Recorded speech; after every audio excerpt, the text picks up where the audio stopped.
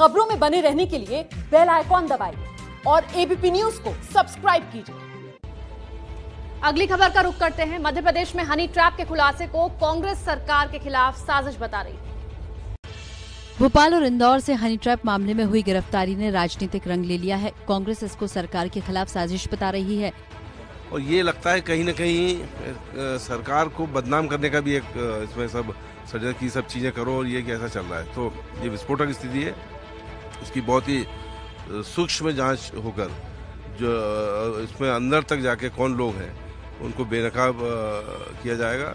कांग्रेस का ये भी कहना है कि गिरोह की जाँच पूरी होने के बाद कई बड़े लोग बेनकाब होंगे। कल मध्य प्रदेश में हनी ट्रैप के आरोपों में छह लोगों को गिरफ़्तार किया गया था, जिसके बाद कुछ अधिकारियों और नेताओं की आपत्तिजनक क्लिप होने की बात सामने आ रही है।